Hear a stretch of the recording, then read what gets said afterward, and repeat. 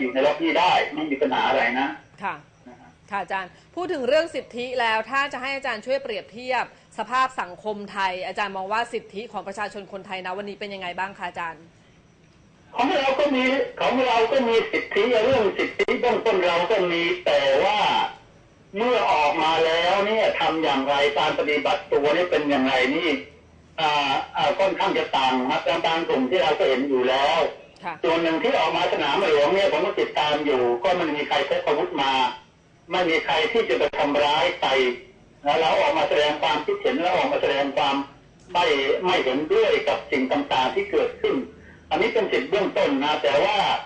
การเผาบ้านเผาเมืองเราเห็นอยู่แล้วว่าบางกลุ่มทำเนี่ย อันนี้มันเป็นเรื่องแล้วค่ะนะฮะเป็นเป็นเรื่องหนึ่งที่ที่ที่ที่ต่างกัน ในบางครั้งที่ในอเมริกาก็จะมีฮะถ้าย้อนไปประมาณ 40 กว่าปี ผมก็อยู่ในอเมริกาตอนนั้นนะฮะค่ะอ่าก็มีในวอชิงตันเองก็มีเกิดเอ่อเกิดจลาจลนะมีการเผาบ้านเผาเมืองอ่าในสมัยที่อ่าอ่ามาร์ตินลูเทอร์คิงถูกยิงอะไรเนี่ยนะฮะสมัยนั้น ก็เกิดจลาจลมันเป็นการชุมนุมแล้วมันก็ลุกลามต่อไปเผาบ้านเผาเมืองก็มีฮะค่ะอาจารย์แต่โดยทั่วไปแล้วเนี่ย เขาเคารพในสิทธิที่จะประท้วงโดยปราศจากอาวุธนะฮะค่ะเพราะฉะนั้นในวอชิงตันนี้จะมีการประท้วงประจำเพราะว่าเป็นเมืองหลวงนะฮะ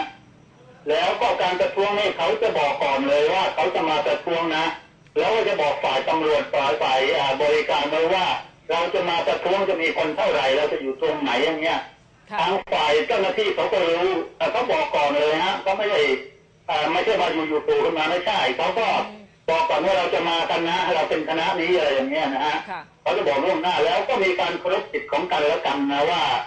ว่าเขาจะมาเขาจะอยู่ที่นี่เขาจะประท้วงเรื่องอะไรนะค่ะทั้งฝ่ายเจ้าหน้าที่ก็รู้ตัวแล้วก็เตรียมตัวไว้นะฮะไม่ไม่ได้เตรียมไว้เพื่อปราบปรามเขาแต่ว่าเตรียมตัวไว้ก็คือว่าถ้าหากมีอ่าคนซึ่งไม่หวังดีไปทำอะไรซึ่งเป็นการทำสร้างความเสียหายให้ทรัพย์สมบัติให้แก่ชีวิตของคนอื่นเนี่ย เขาก็มีฝ่ายเจ้าหน้าที่คอยป้องกันอยู่ อันนี้ของธรรมดาฮะค่ะแต่การที่เจ้าหน้าที่จะเข้าไปเมื่อเขาทำตามกฎเกณฑ์และเจ้าหน้าที่จะเข้าไปปั่นแป้งเขาเนี่ย มันก็มีโอกาสเกิดขึ้นน้อยฮะค่ะ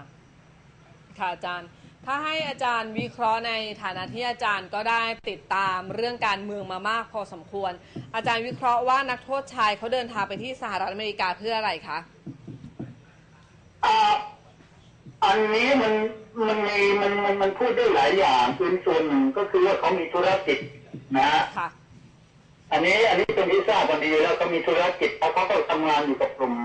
บางกลุ่มผมจะไม่เอ่ยชื่อหรอกนะฮะซึ่งเป็นที่รู้กันไปทั่วไปในข่าวแล้วนะฮะ ค่ะ อ่ากลุ่มนี้เป็นกลุ่มหนึ่งซึ่งเขาเคยไปนที่ปรึกษาเคยติดต่อกันเคยทำงานร่วมกันนะฮะแล้วก็ทางฝ่ายการเมืองเราก็รู้ว่าเขาเดินเดินอ่าสายฝ่ายการเมืองเราก็รู้อยู่แล้วอันนี้ เขาก็คงไปอ่าไปอ่าเดินสายทางการเมืองแต่เขาจะพบใครบ้างอย่างไรนี่เราไม่รู้ แต่ที่เรารู้กันแล้วก็คือว่าเขามีเขาจ้างบริษัทเอ่อเอ่อที่เขาเรียกว่าล็อกที่เอสคือพวกที่วิ่งเต้นเนี่ยนะฮะทีนี้บริษัทวิ่งเต้นเนี่ยจัดให้เขาพบใครบ้าง อันนี้เราไม่มีไม่สามารถจะรู้ได้นะฮะค่ะถึงแม้เราจะมีหน่วยเคลื่อนที่เร็วที่มีหูมีตาอยู่บ้าง เราก็ไม่สามารถจะเข้าไปเข้าไปในที่เหล่านั้นได้นะฮะ เราก็ต้องเดินแต่สันนิษฐานเอาเพราะฉะนั้นเนี่ยที่เราแน่ใจก็คือว่าเขาไม่ได้ไปเที่ยวเอ่อเดินเตะกันมาอนุสาวรีย์แน่นอนนะฮะค่ะอ่าค่ะอาจารย์ แล้วอ่ามีการตั้งข้อสังเกตค่ะอาจารย์คะใน Facebook ก็ตามในอ่าข้อมูลทางโซเชียลเน็ตเวิร์กนะคะอาจารย์มีการตั้งข้อสังเกตว่า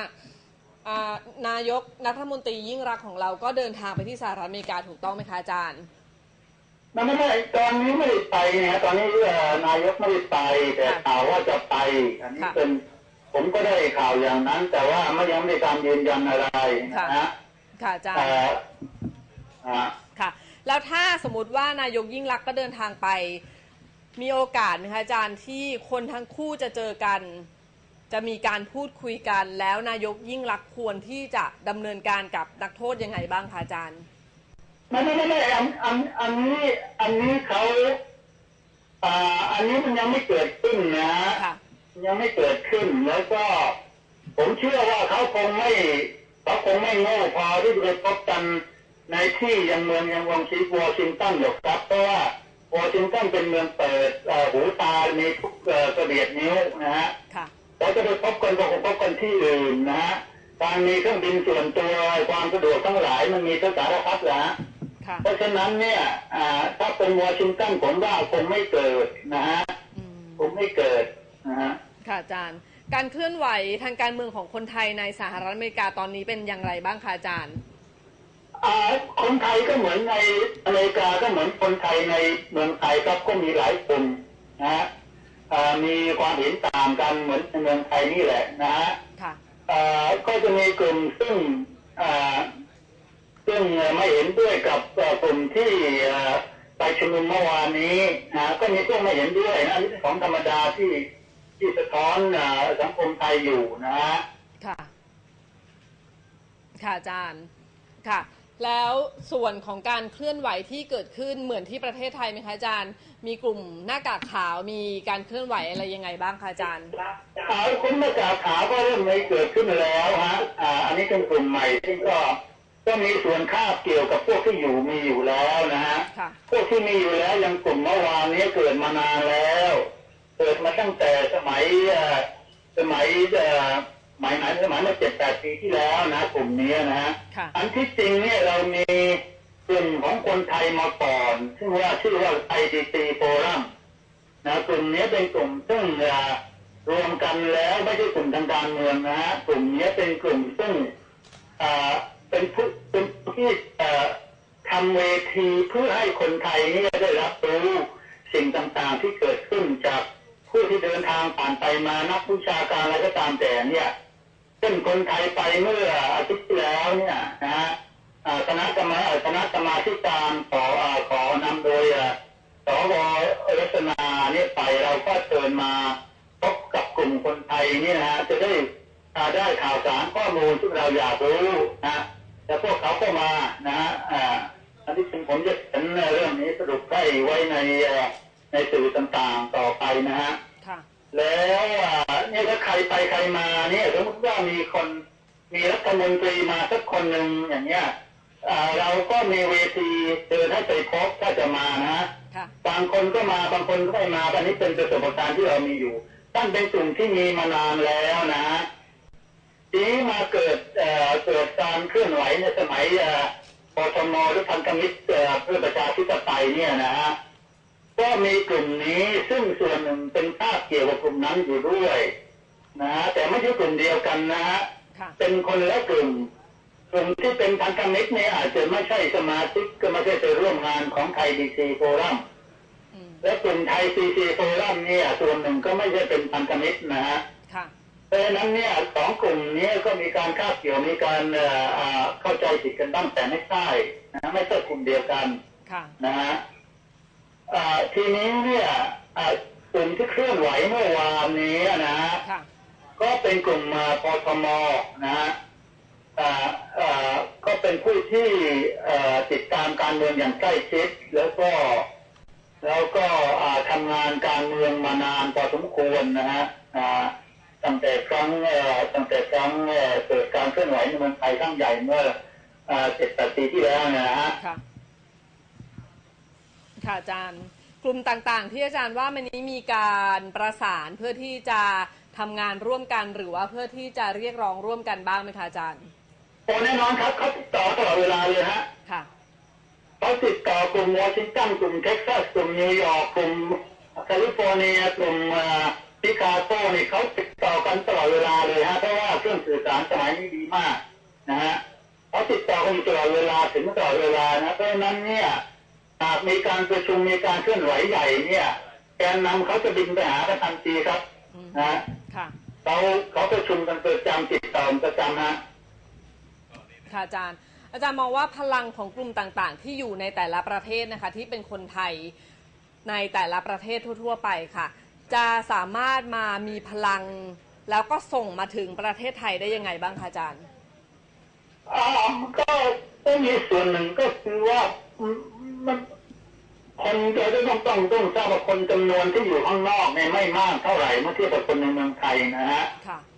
อ่าอย่างอเมริกานี่มีมากที่สุดเป็นแสนคนนะฮะค่ะอเอ่อแต่ส่วนหนึ่งก็เหมือนเมืองไทยส่วนหนึ่งเขาก็ไม่ได้สนใจเขาก็ไปทำมาหากินแล้วก็เอ่อ ไม่ได้สนใจเท่าไหร่เรื่องการเมืองนะฮะค่ะก็จะมีกลุ่มซึ่งสนใจมากอยู่เอ่อก็สองกลุ่มใหญ่ๆก็คือว่ากลุ่มเป็นฝ่ายเอ่อเป็นฝ่ายเอ่อรัฐบาลปัจจุบันนี้กับกลุ่มซึ่งเคลื่อนไหวต่อต้านเอ่อเอ่อนักโทษชายมาตลอดเป็นเวลาหลายปีเนี่ยนะฮะค่ะสองกลุ่มนี้ก็จะอ่าจะอ่าจะอะไรจะ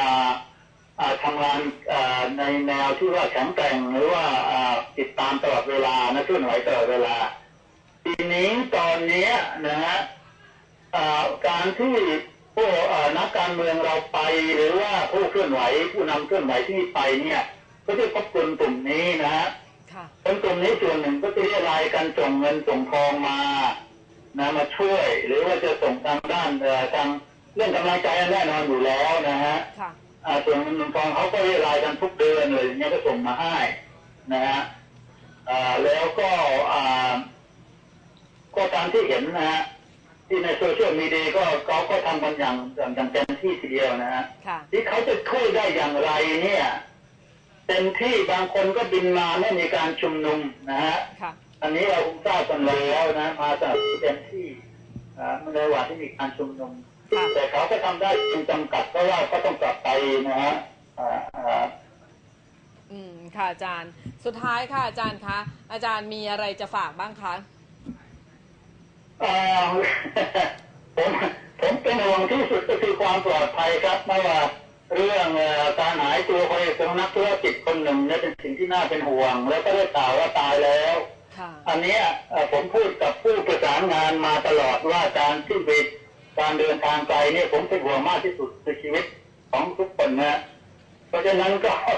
เอาใจช่วยตลอดว่ายังไงก็ให้ปลอดภัยนะฮะให้ปลอดภัยไว้ก่อนนะฮะค่ะอาจารก็ย์ก็หวังว่าคงไม่ป่วยเป็นหวัดเป็นอะไรกันตอนนี้เพราะว่าฝนก็ฟ้าก็ตกนะฮะค่ะอ่าครับค่ะอาจารย์ค่ะขอบพระคุณเป็นอย่างสูงค่ะอาจารย์คะขอบคุณครับค่ะอาจารย์สวัสดีสค่ะวัสดีครับค่ะค่ะ เราก็ เราก็ได้ทราบแล้วนะคะว่าตอนนี้ไม่ใช่เพียงแต่คนไทยที่อยู่ในประเทศไทยเท่านั้นนะคะ แต่ว่าคนไทยที่อยู่ที่สหรัฐอเมริกาก็มีการรวมตัวกันเพื่อที่จะต่อต้านการกระทำการบริหารงานของรัฐบาลนะคะ ซึ่งจะนำความ เสื่อมเสียนำความเสื่อมโทรมนำความไม่ดีมาสู่บ้านเมืองประเทศชาติของเราค่ะสำหรับวันนี้ค่ะดิฉันพัชชาธนาฤกษ์ค่ะ ต้องราตรีสวัสดิ์แล้วก็ลาทุกทุกท่านไปก่อน ขอให้ทุกคนรักษาสุขภาพนะคะ แล้วก็เป็นห่วงซึ่งกันและกันช่วยกันดูแล ซึ่งกันและกันช่วยกันเป็นหูเป็นตาให้ซึ่งกันและกันนะคะ ขอบพระคุณทุกท่านราตรีสวัสดิ์ค่ะ